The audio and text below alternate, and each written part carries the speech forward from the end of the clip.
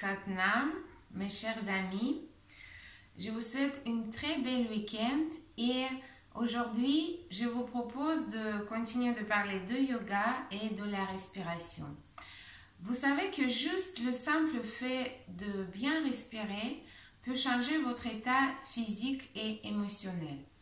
Par exemple, quand on respire par la narine gauche, on active notre canal lunaire, notre cerveau droit, notre côté féminine et euh, ça active notre intuition, ça nous apaise et c'est très bien de le faire pendant la journée lorsqu'on est surexcité, on a trop d'émotions ou le soir avant d'aller se coucher. Alors, comment ça se passe? On va tout simplement boucher notre narine droite et on va faire les respirations par la narine gauche. Vous pouvez fermer les yeux, connecter vous à vous-même et faire quelques respirations longues et profondes.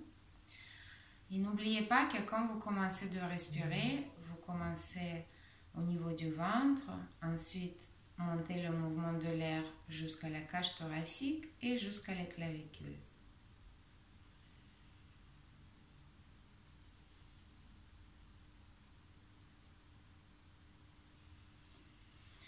Alors, je vous propose de tester vous-même le soir avant de vous coucher ou pendant la journée, pendant quelques minutes.